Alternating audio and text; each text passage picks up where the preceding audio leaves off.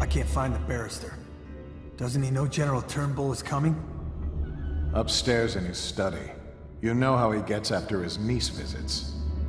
He hates her, and she feels the same. Some family. Sounds like mine. Piece of trash, if you ask me.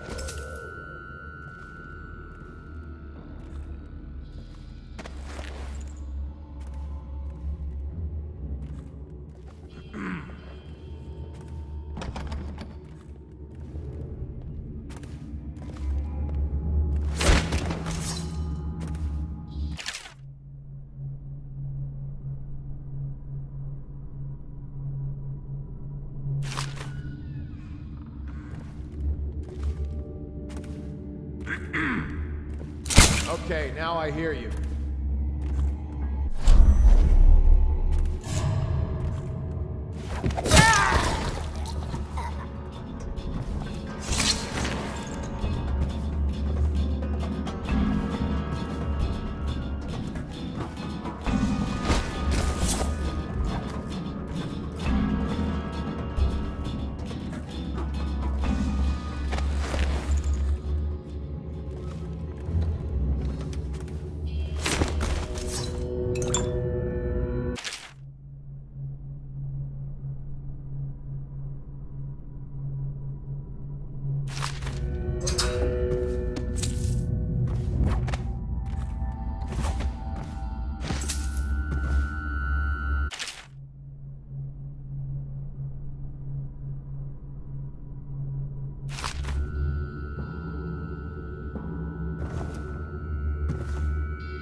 Benedict, I need to know what you expect regarding the Danforth Holding Company. They're only a month late, and they've been good for it in the past. Normally, I wouldn't hesitate to invent a plague infection complaint against them and have all their assets seized. But they have a link to the Boyles, and they, as you know, are on the Do Not Touch list. It's hitting a little too close to home. I'm afraid you may have to settle your dispute with them by some other means.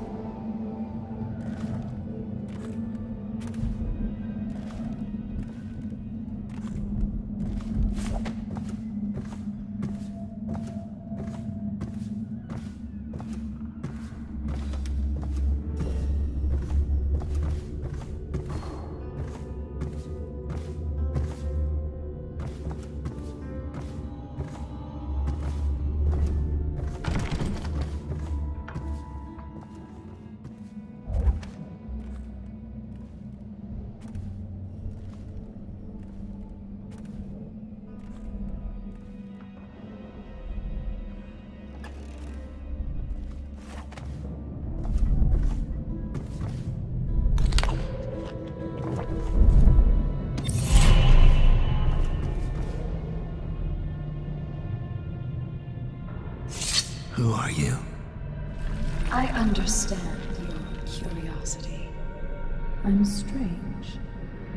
I was a baker's apprentice in Dunwall Tower. A friend to Jessamy and the other girls. Then afterward, I made my name as a painter. Now, I'm obviously something much greater. That satisfies you. Because you won't get more. I ought to just kill you. But I'm going to give you a warning for the sake of my sisters, oh, who were very impressed with you once upon a time. Stay away from me. There are great changes coming, and I'll expect you not to interfere.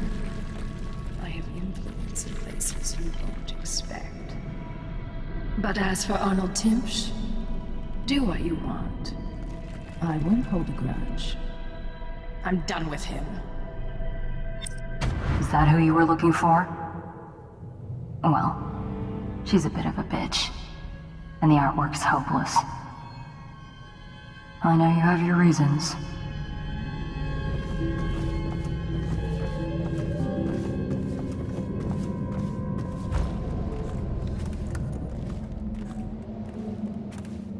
Thank you for coming, Melissa. It's been a hard week, and I get so terribly depressed sometimes. But you always make me smile, even in spite of everything. Thank you, sir. I try. And how is your mother? Or do you mean the situation in the city? I'm not sure I quite understand what I'm doing here. Just listening. Things have been hard. The Lord Regent depends on me to help control the spread of the plague. These aren't easy decisions. This document I carry granting me legal immunity isn't a blessing. It's a burden. Carries so much responsibility. We all depend on you, sir. There you go again, making me smile. I have an idea. Why don't you stay at the house tonight? I'll be working late, and there's more than enough room in my chambers for a delicate creature like you. Oh, no, sir. I wouldn't want to impose. Oh, it's no bother. We can share a bottle and pass the dreary hours together. I couldn't. My husband will be waiting. Hmm. It's only just occurred to me. The late coach isn't running tonight. It's not my fault. It's the Regent. He said to keep it standing by, uh, just in case I'm needed. But, sir, I live out past the old walls. That's why I needed it. I know. That's why I'm concerned. The plague's headed west this past week. I've heard of weepers on Market Street, even on Finfic Lane. I'd hate to think of you making that walk alone, but you know best, I suppose. We all make our decisions. Yes, that's true. Sir, I think it would be my pleasure to stay with you tonight. Good. Then it's settled. I think I'll start the evening with a bath. Until then, feel free to relax. You're off duty for now. Yes, sir. I'll just relax. Have a drink, maybe. It could be a long night.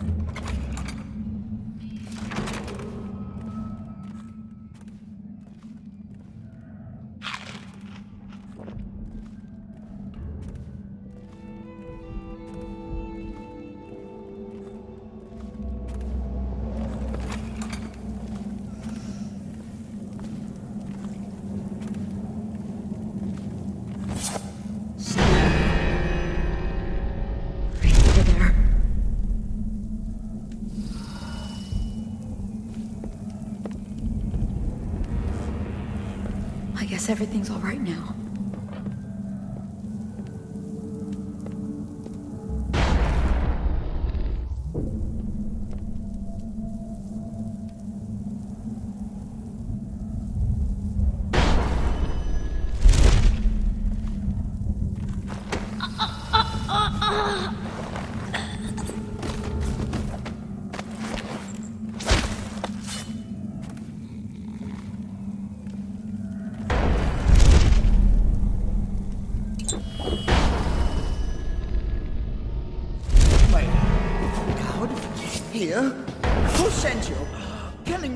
Solve anything.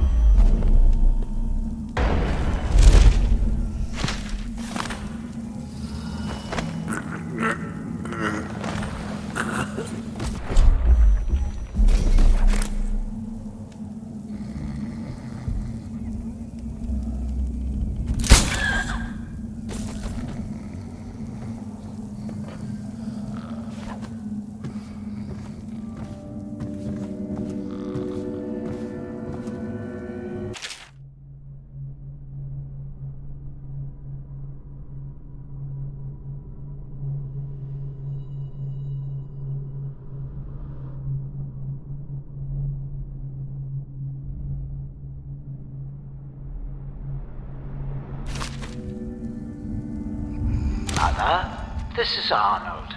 If you happen to awaken while no one is present, I've prepared this for you. To remind you of recent events to help clear your mind and put you at ease. The plague has ended. I have married and will become Prime Minister, just as you always wanted. My sister and brother are both here and doing well. Your last will and testament has been written and approved. We all love you, Mother. Now go back to sleep. Rest. Everything is fine.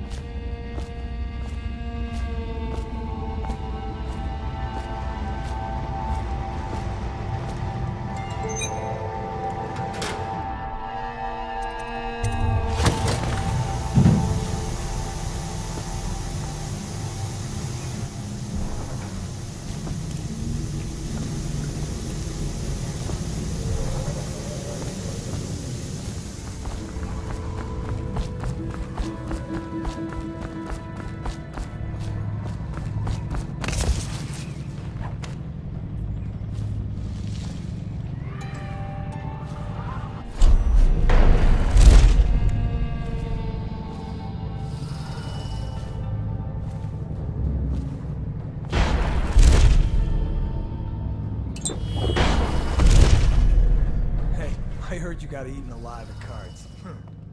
What is that horrible stench? I can barely breathe. Oh, uh, General Turnbull. Yes, I was expecting you. Uh, please come. Ah, Timsh. It smells like a weeper den. I thought we were secure. And we are. The neighborhood is swept three times a week. Barrister Timsh!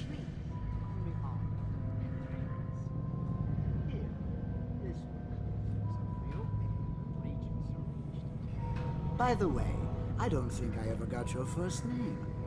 What is this? Is this a joke? I am not sure what you find funny about it. Barrister Timsh, this is a letter from the Lord Regent dated a month ago, stating that your building is to be seized by the state immediately due to massive infection outbreak, and that your personal assets are forfeit if you do not comply immediately. A month ago? Are you showing me this to try to convince me that you're above the law? What? Let me see that. This... this is impossible. I, I, Barrister, I am afraid I am going to have to take you into custody. And if I or any of my men contract the plague because of this visit, I'll see that your head rolls. No, no, no! This isn't the right document. This... Get him out of here before he starts bleeding from the eyes. Tell me and again secure what you'll this do if court. Slack John it's under quarantine. boys jump. You always yes, sir.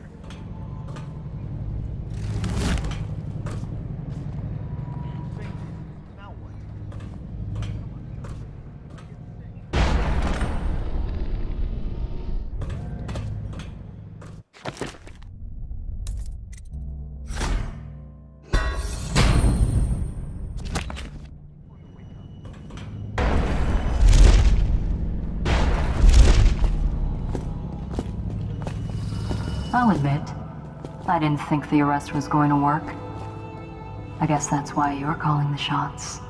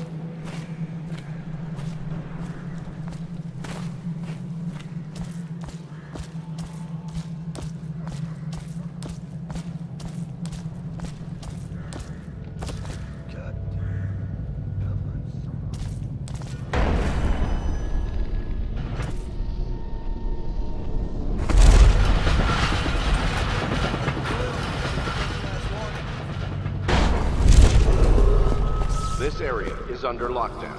Any unauthorized individuals are to be considered suspicious and confronted immediately with lethal force.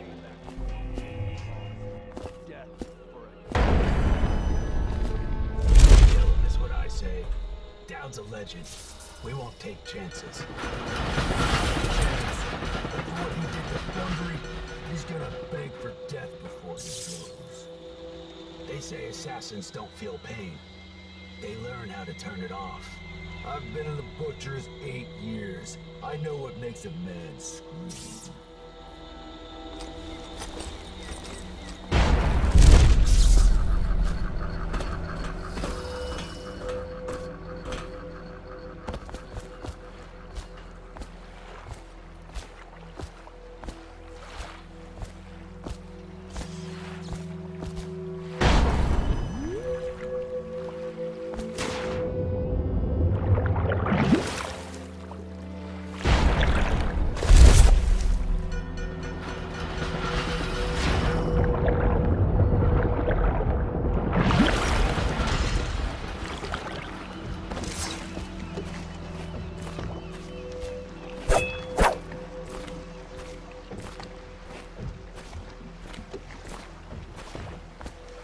The barrister's enemies caught up to him.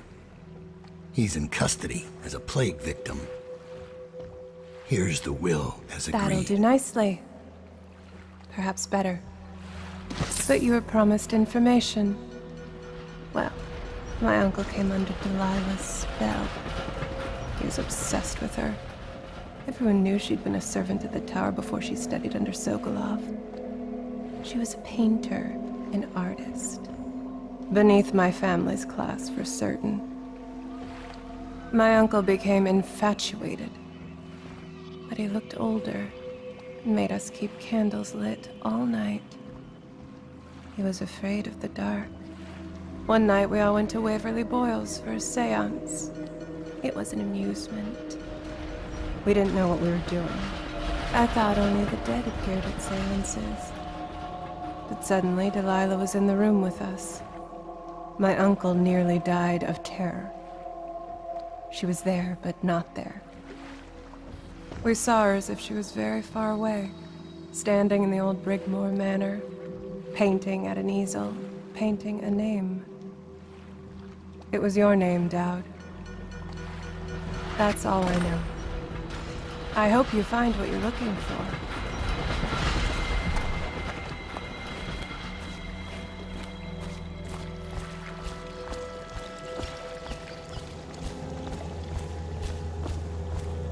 Timsh is ruined. He'll rot in Coldridge prison if they don't send him to the flooded district. It's... poetic, I suppose. Maybe I was wrong about you, Daud. Are you ready to go? Let's go home.